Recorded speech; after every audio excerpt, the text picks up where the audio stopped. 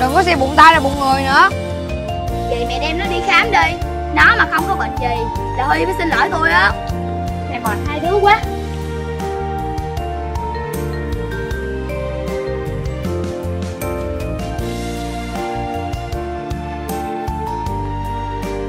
Giờ mẹ dắt bé qua phòng 205 để lấy máu làm xét nghiệm nha. Dạ bác sĩ. Không sao đâu con Có cô ở đây mà. Mình đi